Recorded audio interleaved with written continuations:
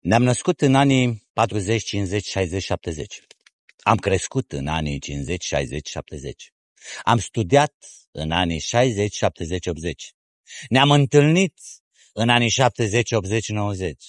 Ne-am căsătorit și am descoperit lumea în anii 70, 80, 90. Ne-am aventurat în anii 80, 90. Ne-am stabilizat în anii 2000 am devenit mai înțelepți în anii 2010 și ne îndreptăm decisiv către 2030.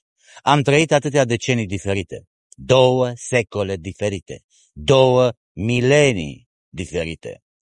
Am trecut de la telefonul operatorului pentru apeluri interurbane la apeluri video oriunde în lume.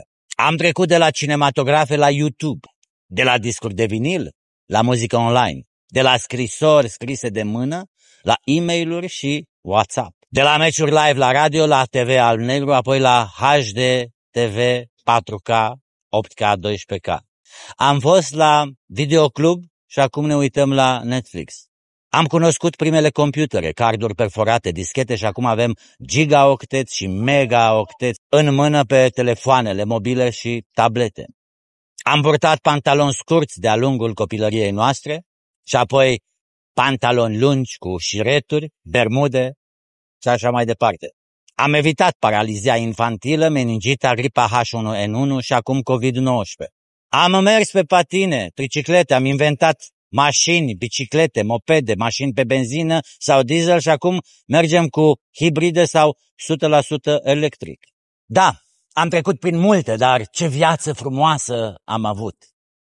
Ne-ar putea clasifica drept esențiali. Oameni născuți în acea lume a anilor 1950 care au avut o copilărie analogică și o maturitate digitală. Generația noastră a trăit și a asistat literalmente la mai mult decât oricare alta în fiecare dimensiune a vieții. Generația noastră este cea care s-a adaptat literalmente la schimbare.